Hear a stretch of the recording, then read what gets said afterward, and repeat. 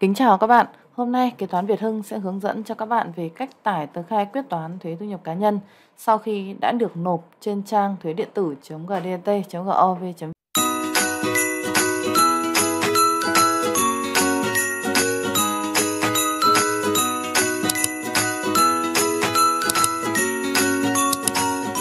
Mà các bạn muốn xem lại nội dung của tờ khai đó. Nếu như các bạn vào phần khai thuế, chọn tra cứu tờ khai, chọn loại tờ khai, quyết toán thuế thu nhập cá nhân, mẫu 05 QTT, chọn ngày nộp và chúng ta nhấn tra cứu. Nếu chúng ta chọn như thế này thì các bạn sẽ không thể tải được tờ khai xuống để xem nội dung.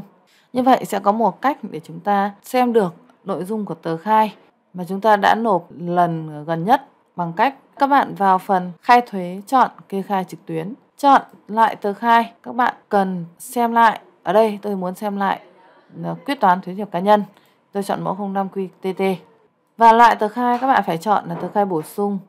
Kỳ kê khai, các bạn muốn xem của năm nào thì các bạn chọn kỳ kê khai là năm đó. Và đây chọn là quyết toán định kỳ. Còn các thông tin khác thì phần mềm tự mặc định, sau đó các bạn nhấn tiếp tục. Như vậy, trên tờ khai bổ sung này sẽ được thể hiện thông tin của tờ khai mà các bạn nộp lần cuối cùng.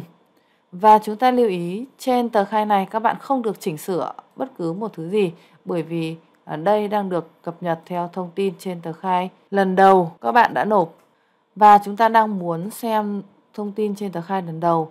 Chính vì vậy, trên tờ khai bổ sung này các bạn không được chỉnh sửa gì và các bạn chỉ cần nhấn tổng hợp KHBS, sau đó nhấn vào hoàn thành kê khai.